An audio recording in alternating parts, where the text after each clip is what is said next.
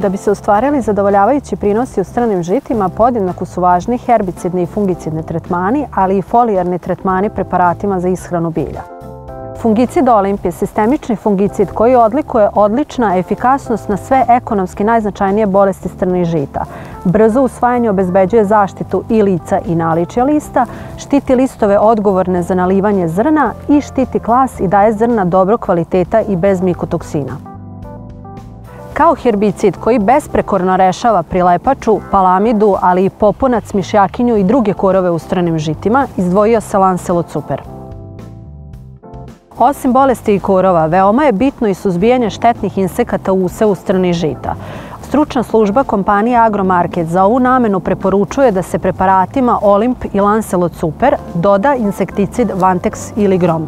Idealan tretman u ovoj fazi razvoja pšenice predstavlja zajednička primjena pesticida i folijarnih đubriva. Stoga preporučujemo da se u prvi pesticidni tretman u pšenici primjeni i folijarno đubrivo Fitofert Speed G u količini od 2 do 3 litre po hektaru. Speed G je folijarno đubrivo sačinjeno od biostimulativnih komponenti sa jedne strane na bazi aminokiselina i algi i hranjivih materija sa druge strane na bazi mikroelemenata. Dakle, radi se o jednoj kompletnoj formuli koja pomaže usevu da bolje prevaziće stresne uslove i da obezbedi više i kvalitetnije prinose na kraju rodne godine.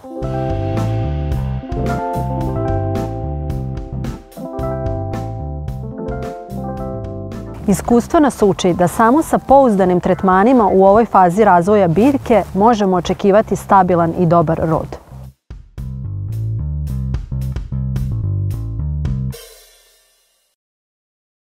Domaćin će svaki znati dobar savjet se isplati sa novog portala Vreba Savjeti sa Agroneba. Posjetite ovog trena i nestaće ta dilema.